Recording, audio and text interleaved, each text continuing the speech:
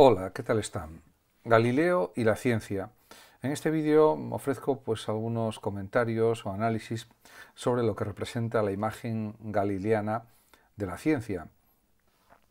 Podemos decir que Galileo es un gran eh, pues, eh, matemático, físico, científico italiano, uno de los creadores del método científico hipotético deductivo, y eh, sus obras pues, eh, causaron un gran influjo en la ciencia del siglo XVII y son el inicio, podríamos decir, de la ciencia moderna, eh, junto con figuras como por ejemplo Newton, como Huygens, como Tycho Brahe, como Kepler, etc. Robert Hooke también, otro también inventor y científico británico y matemático. Podemos decir que la ciencia moderna, mm, de alguna manera, es la ciencia de Galileo, porque, eh, diríamos, él busca la delimitación de la autonomía de la ciencia y también eh, pretende descubrir las reglas del método científico. Eh, en ese sentido, mm, la ciencia de Galileo podemos decir que ya no es un saber al servicio de la fe o de la religión, aunque él respeta las creencias religiosas y el cristianismo, por supuesto, pero pues un objetivo distinto al de la fe y eh, se acepta y se fundamenta que se basa en razones distintas a la fe religiosa. En este sentido, eh, pues podemos decir que eh, sus investigaciones en matemáticas, mm, sus investigaciones en física, etcétera, pues tienen un propósito objetivo, un propósito de descubrimiento y en ese sentido, pues Galileo mm, indiscutiblemente separa las proposiciones mm, que son de la ciencia de las eh, propias de la fe. Y dice lo siguiente, me parece que en las disputas naturales la escritura debería colocarse en último lugar. También eh, se plantea pues, eh, poner en entredicho el autoritarismo filosófico o se pone en contra, por decirlo de otra manera, del autoritarismo en filosofía y considera que si la ciencia es autónoma con respecto a la fe, con mayor razón aún debe ser autónoma de todos aquellos intereses humanos que eh, pues, mm, impiden su realización. En ese sentido, él considera que, por ejemplo, Aristóteles no descubrió las lunas de Júpiter o no descubrió que la luna tenía montañas, valles y cráteres como la Tierra, simplemente porque no disponía de telescopio o de telescopios, como si era en su caso. En ese sentido, pues él lo manifiesta explícitamente en sus escritos y en su actitud también. Por otra parte, eh, también él pues, insiste en que em, la naturaleza se lee eh, de alguna manera observándola y que el libro del conocimiento está en la naturaleza de alguna manera.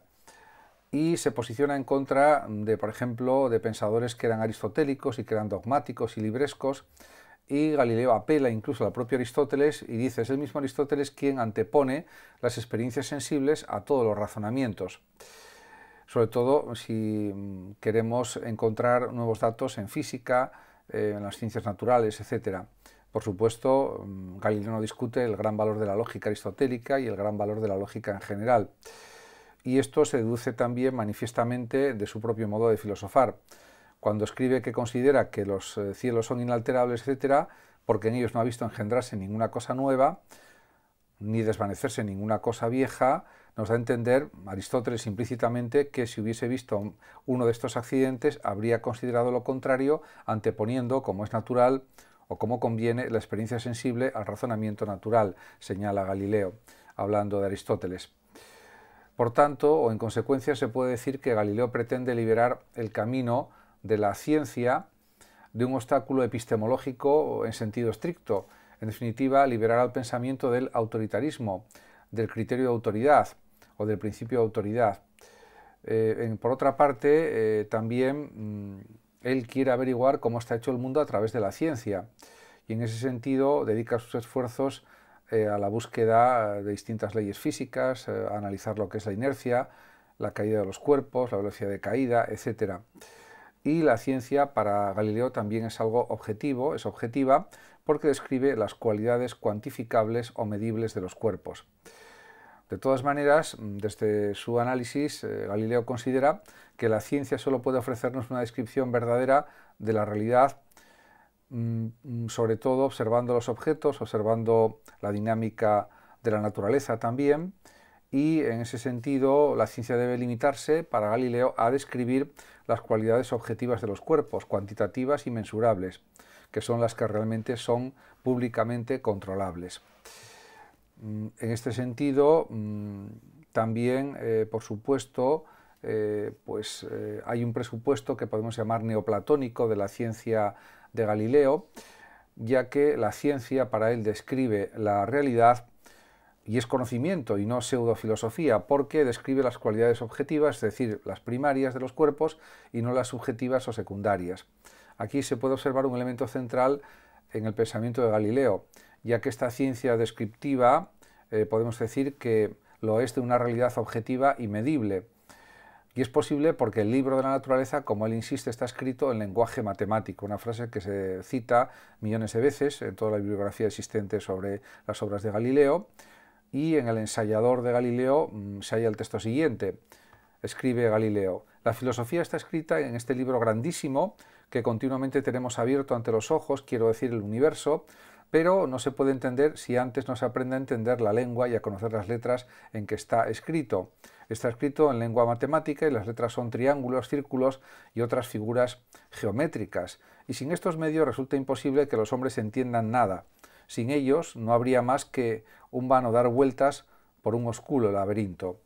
Eh, sabias palabras de Galileo que inician pues, una senda de conocimiento científico que continuó con otros científicos como Kepler, Galileo, y otros muchos.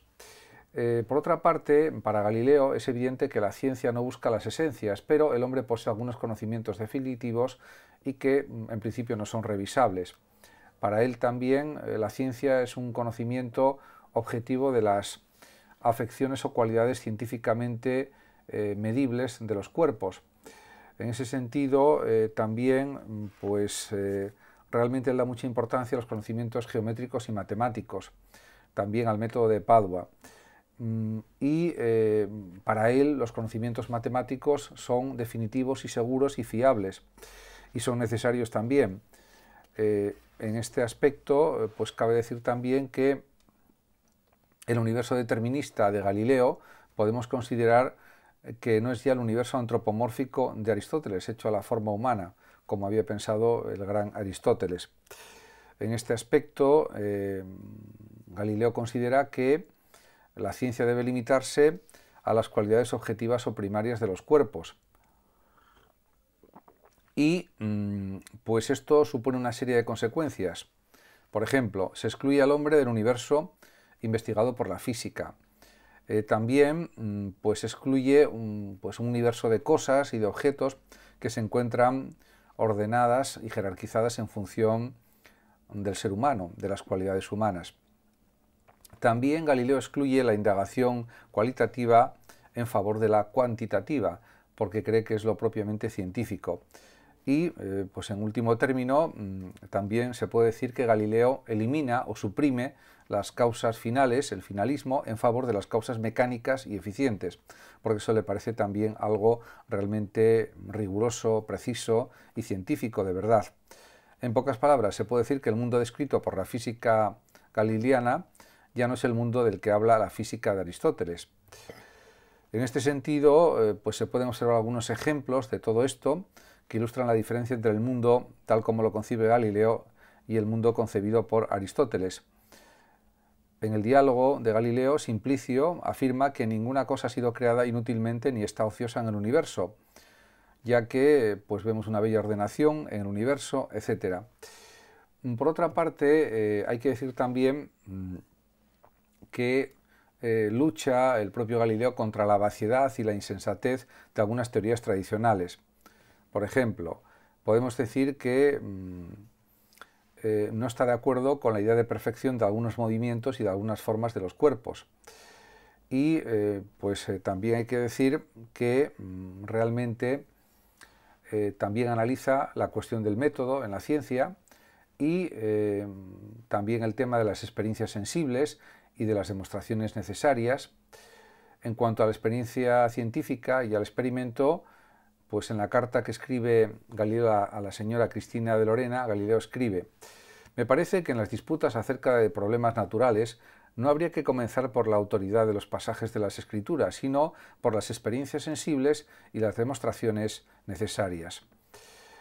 Más todavía, sigue diciendo, parece que aquello de los efectos naturales que la experiencia sensible nos pone ante los ojos, o las necesarias demostraciones nos concluyen, no debe en ningún caso ser puesto en duda, y tampoco condenado por aquellos pasajes de la escritura cuyas palabras tuviesen un sentido diferente. La ciencia, por tanto, para él mm, es un conocimiento objetivo con todos los rasgos específicos que se pueden analizar de una manera coherente. En opinión de Galileo, además, este método consiste en experiencias sensibles y en demostraciones necesarias. Las, demostraciones ciertas pues son las argumentaciones en las que, partiendo de una hipótesis, por ejemplo, de una definición físico-matemática del movimiento uniforme, se deducen con rigor determinadas consecuencias que luego tendrán que darse o tendrían que darse en la realidad. De la misma manera que mediante el anteojo, Galileo, el telescopio, trató de potenciar y perfeccionar la vista natural, así también, al llegar a una edad más avanzada, reconoció que Aristóteles en su dialéctica nos enseña a ser cautos eh, al huir de las falacias del razonamiento, encauzándolo y capacitándolo para elaborar silogismos o deducciones correctas y para deducir de las premisas la conclusión necesaria. Galileo hace decir a Salviati que la lógica es el órgano de la filosofía, con toda la razón. Por tanto, se puede decir que por un lado se da una llamada a la observación minuciosa de la realidad y precisa, a los hechos, a las experiencias sensibles, mientras que por el otro se produce también eh, pues una intensificación del papel de las hipótesis matemáticas y de la fuerza lógica que sirve, entre otras cosas, para extraer las consecuencias a partir de ellas. Este es el problema en el que han tropezado muchos estudiosos. Por ejemplo, qué relación existe entre las experiencias sensibles y las demostraciones necesarias. Y no solo es un problema típico y clásico de la filosofía de la ciencia contemporánea, sino de un problema que ya percibe Galileo en su tiempo y que surge con toda claridad en sus escritos. Está fuera de toda duda, por ejemplo, que Galileo fundamenta la ciencia sobre la experiencia, y se remite en esto a Aristóteles también, que antepone las experiencias sensibles a todos los razonamientos.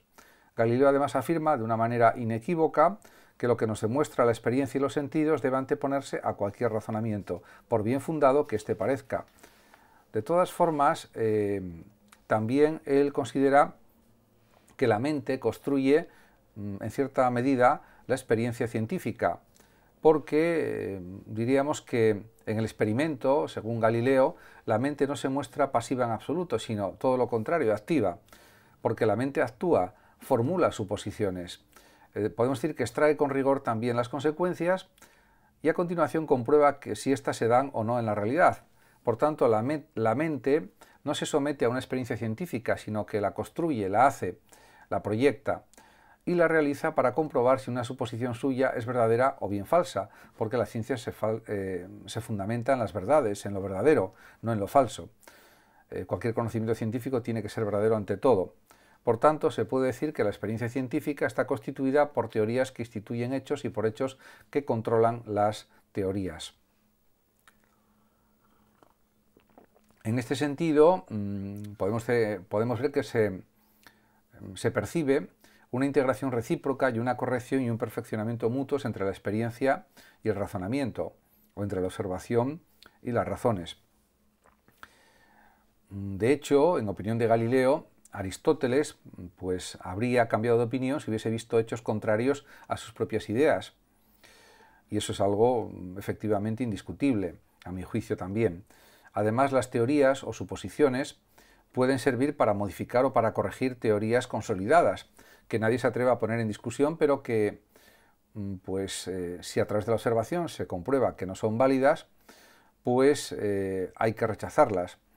En este sentido, se puede pensar en el sistema aristotélico-tolemaico que mm, se sustituyó por el sistema copernicano, eh, que establece que el Sol está en el centro del universo, que tampoco es mm, absolutamente verdadero, pero que está más cerca de la verdad que el planteamiento tolemaico y aristotélico, o aristotélico-tolemaico para ser más exactos.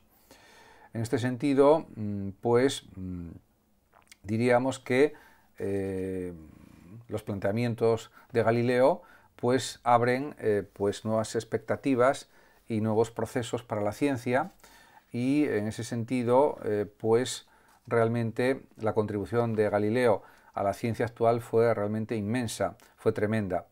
Fue una pena también que fuera acusado ante la Inquisición y que tuviera que estar en arresto domiciliario los últimos años de su vida.